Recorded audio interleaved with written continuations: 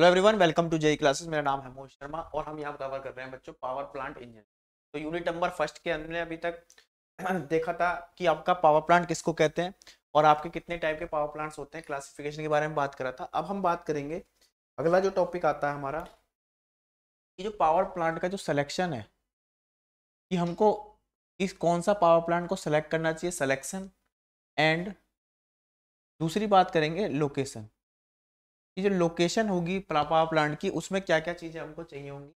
Selection and location consideration किन किन बातों का हम ध्यान रखेंगे, वो हम यहाँ पे देखने वाले ठीक है? सिलेक्शन होगा आपका और लोकेशन कंसिडरेशन ठीक है? तो हम यहाँ पर क्या क्या बातों का ध्यान रखते हैं? सिलेक्शन एंड कोऑर्डिनेशन लगभग 10 से 12 बातें तो हमको यहाँ पर ध्यान रखना होता है। सबसे पहले हम बात करेंगे आपका नंबर वन नंबर वन जो होगा cost cost of cost of transmission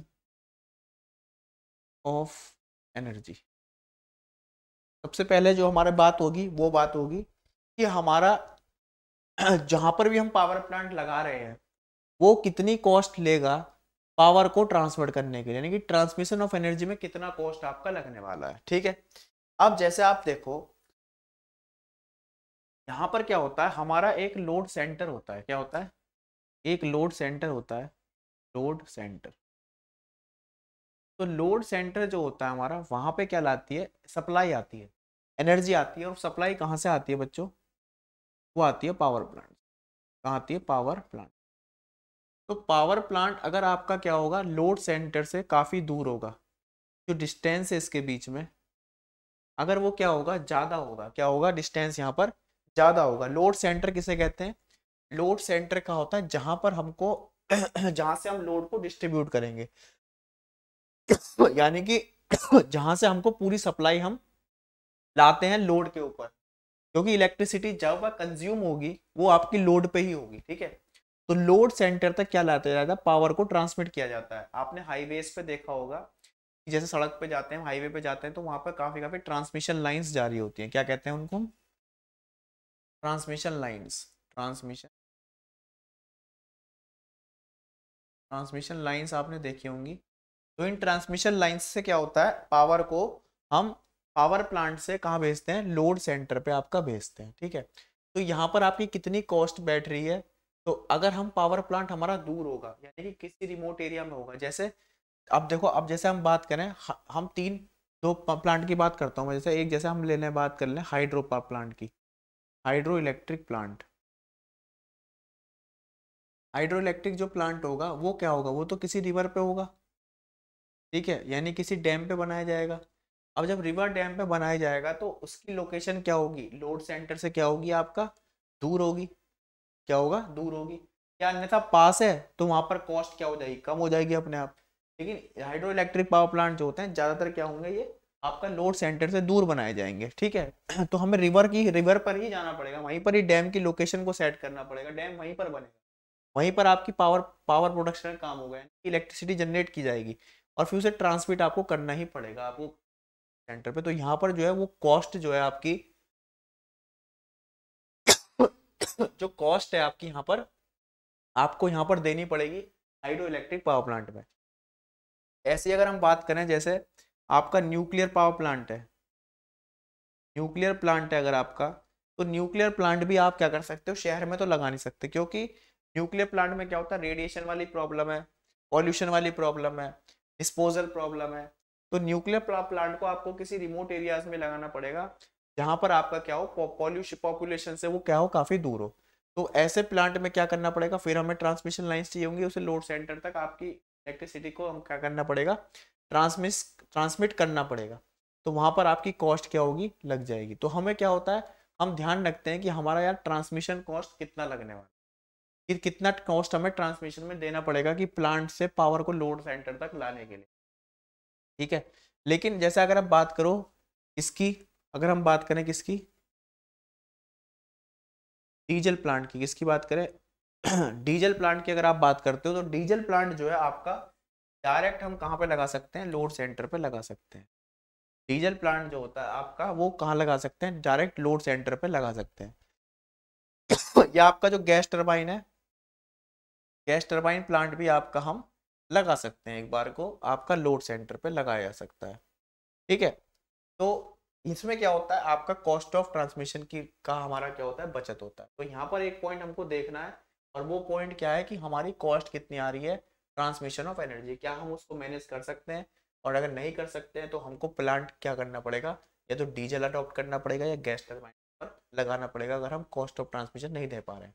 लेकिन अगर हम ट्रांसमिशन कॉस्ट को वहाँ पर मैनेज कर पा रहे हैं कि भाई हमको आ, किसी दूसरे कंसिडरेशन को देखते हुए hydro electric power plant better बैठ रहा है अच्छा एडवांटेज लग रहा है तो अगर एडवांटेज लग रही है तो हम वहाँ पर कॉस्ट इसका पे करने के लिए तैयार रहते हैं ठीक है? पहली बात तो यही है आपकी दूसरी बात आती है आपकी फ्यूल कॉस्ट, यानी कि आपका कॉस्ट ऑफ़ फ्यूल। दूसरी बात जो है आपका वो है कॉस्ट ऑफ़ फ्यूल। कि हम कौन सा फ्यूल इस्तेमाल करते हैं। अब देखो यहाँ पे अगर आप बात करो किसकी हाइड्रो इलेक्ट्रिक की बात करो, हाइड्रो हाइड्रो इलेक्ट्रिक की बात करते हैं अगर हम यहाँ। हाइड्रो इलेक्ट्रिक में क्या यूज़ होता है? वाटर। तो वाटर तो लगभग क्या है? आपका फ्री ही है। फ्री है, इसके लिए आपको क्या देना पड़ेगा? नो कॉस्ट लेकिन अगर बात करो आप न्यूक्लियर प्लांट की तो न्यूक्लियर प्लांट में हमारा क्या होता है? जो ये होता है, इसका फ्यूल होता है, वो क्या होता है? एक्सपेंसिव होता है। इसका फ्यूल क्या होता है? आपका एक्सपेंसिव होता है। या आप डीजल की बात करो तो वहाँ पर भी आपको फ्यूल कॉस्ट देनी ही पड़ेगी। ठीक है? या आप बात करो कोल प्लांट है स्टीम प्लांट है तो वहाँ पर भी क्या होता है? कोल की अवेलेबिलिटी क्या चल रही है? उसकी भी फ्यूल कॉस्ट आपकी कुछ ना कुछ बैठती है। तो किस टाइम के, किस टाइप के प्लांट में आपको कैसे आपकी कॉस्ट इन्फ्लुएंस कर रही है पूरे प्लांट को तो कॉस्ट ऑफ़ फ्यूल भी जो होता है सकते हैं। अब जैसे हाइड्रो इलेक्ट्रिक प्लांट में आपको फ्यूल का कॉस्ट तो देना नहीं है, लेकिन न्यूक्लियर में देना है। तो न्यूक्लियर में डीजल में आपको फ़ायदा मिल रहा है कि वहाँ पर ट्रांसमिशन का कॉस्ट नहीं देना। तो हमको ये ध्यान रखनी होती बात है कि कौन सा प्लांट हमें सेटअप तो पहले, दूसरी बात हो गई आपकी किसकी? आपकी दूसरी बात होती है कॉस्ट ऑफ़ फ्यूल की। तीसरा पॉइंट बात करेंगे, ठीक है? तो कॉस्ट दो तो हमने जो दोनों पॉइंट लिए हैं, वो लिए हैं किसके आधार पर? कॉस्ट के आधार पर। अब हम तीसरा बात करते हैं, यहाँ पर एक और कॉस्ट आ सकती है cost of land cost of land यानी कि अगर हम कहीं पर डैम बनाने जा रहे हैं तो वहाँ पर हमारा कितना कॉस्ट आ रहा है? या फिर अगर हम स्टीम प्लांट बनाते हैं तो वहाँ पर लैंड हमें थोड़ा कम चाहिए चाहिए होता है। स्टीम प्लांट के लिए लेस लैंड का रिक्वायरमेंट पड़ता है थोड़ा। ठीक है? या अगर आप डीजल प्लांट लगा रहे हो, उसके लिए और भी चाहिए, कम हो, चाहिए होता है। तो वहाँ पर टैक्सेस कितने हैं? उस पर्टिकुलर प्लांट को लगाने के लिए वो यहाँ पर देखा जाता है। तो तीसरी बात आती है किसकी? आपकी कॉस्ट ऑफ़ लैंड की। तो तीनों जो पॉइंट हुए, वो किससे आधारित हुए? आपके कॉस्ट पर आधारित हुए। ठीक है? चौथा हम बात करते हैं बात requirement of space requirement of space कि भाई कौन सा प्लांट कितनी रिक्वायरमेंट लेगा वो मैंने बात अभी यहाँ पे भी करी कि कौन सा प्लांट आपका कितना स्पेस लेता न्यूक्लियर पावर प्लांट है स्टीम पावर प्लांट है, इनको थोड़ा कम स्पेस ही रिक्वायरमेंट होती है। लेकिन जैसे आपका क्या होता है हाइड्रो इलेक्ट्रिक पावर प्लांट होता है तो वहाँ पर काफ़ी ज़्यादा हमको डैम के लिए वर्क करना पड़ता है। ठीक है तो ये हमारी बात हुई किसके लिए? आपका requirement of space number fifth बात आती है कि वाटर अवेलेबिलिटी क्योंकि अगर आप वाटर अवेलेबल वाटर अवेलेबिलिटी ठीक है, कि हमारा जो पावर प्लांट है, उसके लिए क्या चाहिए होता है? स्टीम पावर प्लांट में आपको वाटर के पर आधारित होगा वो। तो वहाँ पर क्या होता है, जो स्टीम निकलती है टर्बाइन से, वो कंडेंसर में जाती है। तो वाटर, स्टीम को ठंडा करने के लिए cooling of steam. Cooling of steam. Steam को कूल करने के लिए we need lot of water for cooling of steam it requires it requires a lot of lot of amount of water तो वाटर हमें क्या चाहिए? वाटर की availability है या नहीं? तो वहाँ पर आपका न्यूक्लियर में भी वाटर चाहिए आपको। आपका हाइड्रो इलेक्ट्रिक में तो पावर वाटर चाहिए चाहिए। लेकिन अगर आप डीजल प्लांट की बात करते हो तो डीजल प्लांट पे हमको वाटर का इतना रिक्वायरमेंट नहीं होता है आपका, ठीक है? तो बेसिकली पाँच बातें ये हो गई। सिक्स बात करते हैं हम। ये तो बात हुई हमारी किसकी? वाटर अवेलेबिलिटी है या नहीं है? उसके बाद आता है, आपका स्टोरेज स्पेस स्टोरेज स्पेस जो आपका फ्यूल है, उसके लिए हमारे पास स्पेस अवेलेबल कितना है? जैसे आपका कोल पावर प्लांट है तो वहाँ पर कोयले के लिए आपको क्या रखना पड़ेगा? कोयला आपको अगर दो महीने का रोकना है किसी पावर प्लांट में तो वहाँ पर आपको क्या चाहिए? स्पेस रिक्वायरमेंट चाहिए। या आपका डीजल के लिए डीजल टैंक बनाए जाते हैं, डीजल स्टोरेज टैंक होते हैं। यार यहाँ पर पर्टिकुलर पावर प्लांट के के लिए स्टोरेज हम बना पाएँगे, नहीं बना पाएँगे, इतना स्पेस हमारे पास है नहीं है। स्टोरेज स्पेस को भी ध्यान में रखा जाता है जब किसी भी पावर प्लांट का सिलेक्शन हम करते हैं। तो ये बातें हो गई हमारी कितनी, छह बातें हो गई।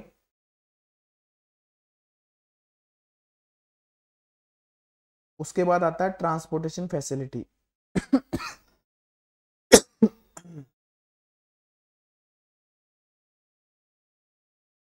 Transportation facility. Transportation. Transport transportation facility. जब प्लांट सेटअप करोगे आप, जब हमारा प्लांट का सेटअप किया जाएगा तो प्लांट सेटअप के लिए आपको बॉयलर है जैसे, ठीक है, टर्बाइंस हैं अगर विंड टर्बाइन प्लांट है तो विंड टर्बाइन होगी। सोलर प्लांट है तो पैनल्स होंगे। डीजल पावर प्लांट होगा तो डीजल डीजल सेट होगा डीजल इंजन होगा। ठीक है? और कौन से पावर प्लांट होते हैं?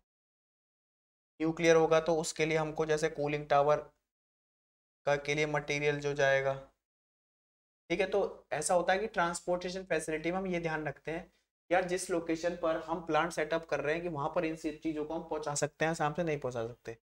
मान लिया जम्मू कश्मीर में आप ऐसे पहाड़ों पर स्टीम टर स्टीम पावर प्लांट लगाना चाहते हो तो वहाँ पर आपको पहाड़ों से ट्रांसपोर्ट करना पड़ेगा क्या? बॉयलर्स को बड़े बड़े बॉयलर्स टर्बाइंस विंड टर्बाइंस के जो ब्लेड्स होते हैं, वो इतने बड़े होते हैं कि आपका उन्हें ट्रांसपोर्टेशन में वहाँ बड़ी दिक्कत आती है। उन ब्लेड्स को ट्रांसपोर्ट करने में बहुत प्रॉब्लम आती है। ठीक है तो हमारी ट्रांसपोर्टेशन फैसिलिटीज़ किस तरीके से हो रही है, वो हमको ध्यान रखना पड़ता है in the case of selection and location of any power plant ठीक है तो ये बात हुई कितनी? सात बातें ये हो गई हमारी। ठीक है, अब आती है नेक्स्ट नेक्स्ट हम बात करेंगे।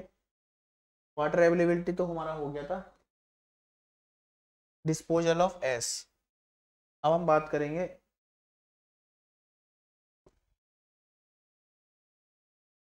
डिस्पोजल ऑफ़ एस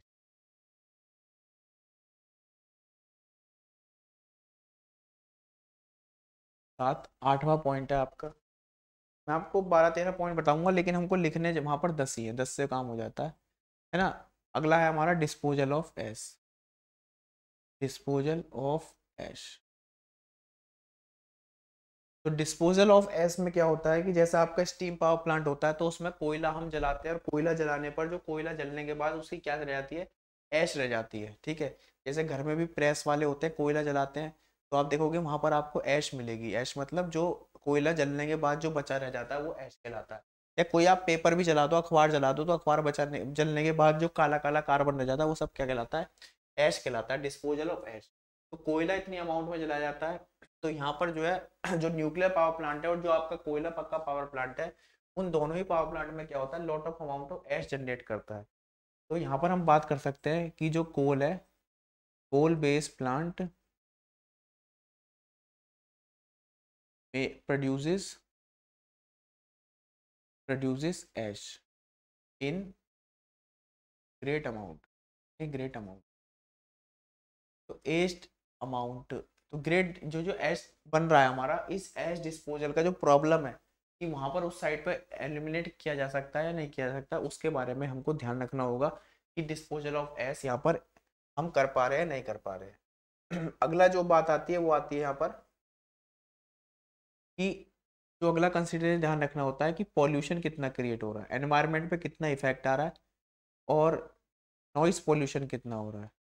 तो इन दोनों बातों का ध्यान रखा जाता है कि पॉल्यूशन एंड नॉइस जैसे अगर हम बात करें स्टीम पावर प्लांट की बात करें steam power plant steam power plant में क्या होता है कि बॉयलर में आपका वाटर बनेगा स्टीम बन जाएगी उससे।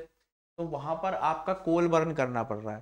स्टीम पावर प्लांट में आपको कोयला जलाना पड़ेगा तो कोयले से आपका सी ओ टू निकलेगा सी ओ निकलेगा एस निकलेगा, ठीक है। और भी एक्सेट्रा गैसेस निकलेंगी।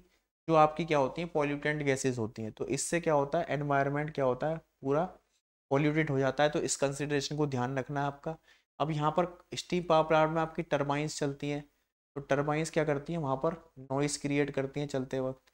तो उस नॉइस को किस तरह से एब्जॉर्ब करना है, ठीक है? जैसे अगर आप बात करो हाइड्रो पावर प्लांट की अगर हम बात करते हैं हाइड्रो इलेक्ट्रिक की तो वहाँ पर आपका कोई पॉल्यूशन नहीं होता है, क्योंकि वाटर वहाँ पर एज ए फ्यूल काम कर रहा होता है। मतलब वाटर की ही एनर्जी को हम क्या करते हैं, यहाँ पर कोई पॉल्यूशन नहीं होता, लेकिन यहाँ पर क्या होता है नॉइस क्रिएशन आपका यहाँ पर अच्छा खासा होता है हाइड्रो इलेक्ट्रिक पावर प्लांट लेकिन अगर आप डीजल की बात करो तो जैसे डीजल की अगर हम बात करते हैं तो डीजल में तो नॉइस भी होगी और आपका पॉल्यूशन भी करेगा ये। ठीक है तो आपको ये कंसिडरेशन करना है कि पॉल्यूशन हम कितने लिमिट तक कर सकते हैं। नॉइस हमें चाहिए, नहीं चाहिए उस पावर प्लांट के लिए। तो इन सब बातों का हम ध्यान रखते हैं। जैसे आपका विंड टर्बाइन है तो विंड टर्बाइन ना तो इतना नॉइस क्रिएट करती हैं करती हैं, लेकिन इतना नहीं करती। और पॉल्यूशन भी उनके द्वारा क्या होता है? पॉल्यूशन तो ज़ीरो होता है विंड टर्बाइन का। तो यहाँ पर जो है एक अच्छा ऑप्शन है। अगर आपको पॉल्यूशन से रिमूव करना है तो आप स्टीम पावर प्लांट को रिप्लेस कर सकते हो। न्यूक्लियर पावर प्लांट में भी आपका पॉल्यूशन क्रिएट करता है, जो रेडियो एक्टिव पॉल्यूशन होता है। न्यूक्लियर की अगर आप बात करो यहाँ पर तो यहाँ पर रेडियो एक्टिव पॉल्यूशन जो होता है, वो काफ़ी दिक्कत क्रिएट कर सकता है आपके लिए। ठीक है तो हमको इसका भाग भी ध्यान रखना पड़ता है कि किसी भी प्लांट को सेटअप करने के लिए किसी भी लोकेशन पर कि पॉल्यूशन एंड नॉइस का वहाँ पर क्या लेवल है। ठीक है? नेक्स्ट हमारा जो कंसिड्रेशन हम लेंगे यहाँ पर, वो लेंगे nature of load nature of load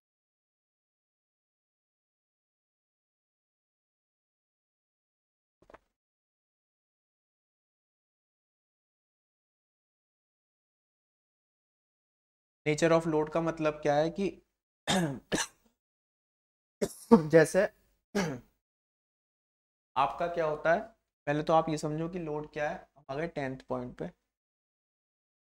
load का मतलब क्या है कि जैसे आपके घर में एसी चल रहा है, हीटर भी चल रहा है तो लोड क्या है, ज़्यादा है।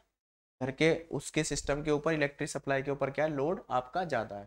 ठीक है, अब जैसे दिवाली आ गई तो वहाँ पर क्या हुआ, लाइट्स भी लग गई, एसी भी चल रहा है और आपका सब कुछ ही वहाँ पर हो रहा है। मतलब बड़े, हीटर भी चला रखा आपने।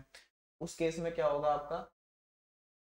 नेचर ऑफ़ लोड क्या होगा? वहाँ पर ज़्यादा हो जाएगा। तो लोड जो हो सकता है वो कम भी हो सकता है, ज़्यादा हो सकता है। तो लोड वेरिएशन जो है, लोड का जो वेरिएशन आता है ना, कहाँ से? आपका जो, जहाँ पर आपको सप्लाई करना है। ठीक है? तो लोड का जो वेरिएशन आता है आपका, उस लोड वेरिएशन को क्या हमारा प्लांट प्लांट से झेल पाएगा या नहीं झेल वो हमें ध्यान रखना है। जैसे फॉर एग्ज़ाम्पल तो कुछ प्लांट क्या होते हैं, भाई अब देखो, अगर लोड इंक्रीज करता है मेरे भाइयों लोड इंक्रीज करता है अगर आपका तो वहाँ पर क्या करना पड़ता है, हमको कुछ यूनिट्स क्या करनी पड़ेंगी स्टार्ट करनी पड़ेंगी। मोर यूनिट्स स्टार्ट करनी पड़ेंगी जनरेटर्स की। यूनिट कुछ जनरेटर और चलाने पड़ेंगे इलेक्ट्रिसिटी ज़्यादा, अगर हमें ज़्यादा ज़रूरत पड़ रही है तो और ज़्यादा जनरेटर चलाने पड़ेंगे और और जनरेटर चलाने के लिए आपको टर्बाइन ज़्यादा चलानी पड़ेगी और टर्बाइन ज़्यादा चलाने के लिए आपको पूरा सिस्टम क्या करना पड़ेगा? एक लेवल अप करना पड़ेगा। तो जैसे हमको क्या करना पड़ेगा? अब जैसे अगर बात करें, अगर हम स्टीम पावर प्लांट की बात करते हैं स्टीम पावर प्लांट जो होता है, वो पावर तो बहुत अधिक मात्रा में बना सकता है, लेकिन वहाँ पे जो है ना, आपका फ्लक्चुएशन को वो इतना एक्सेप्ट नहीं करता। फ्लक्चुएशन जो है वो इतना ज़्यादा तो फ्लक्चुएशन वो इतना ज़्यादा पसंद नहीं है, ना ही न्यूक्लियर को पसंद है। न्यूक्लियर पावर प्लांट भी लार्ज कैपेसिटी के प्लांट है, लेकिन फ्लक्चुएशंस को ये मना करते हैं। लेकिन बात करें अगर डीजल की आपका या हाइड्रो पावर प्लांट की हाइड्रो इलेक्ट्रिक पावर प्लांट की तो ये दोनों ही प्लांट क्या करते हैं? फ्लक्चुएशन को संभाल सकते हैं। फ्लक्चुएशंस को ये क्या कर सकते हैं? संभाल सकते हैं। तो हम देखेंगे कि हमारा लोड किस तरीके का है। लोड अगर लोड में वेरिएशन हो रहा है पूरे साल के अंदर कितना ज़्यादा लोड का वेरिएशन है पीक लोड कितना है आपका? नेचर ऑफ़ लोड भी यहाँ पर एक अलग कंसिडरेशन बनती है जब हम while selection and location of any power plant यहाँ ध्यान रखे, ध्यान रखते हैं कि लोड वेरिएशन किस तरीके का ठीक है? तो हमने यहाँ पर बात करी नेचर ऑफ़ लोड की। उसके बाद एक आखिरी पॉइंट हो जाता है।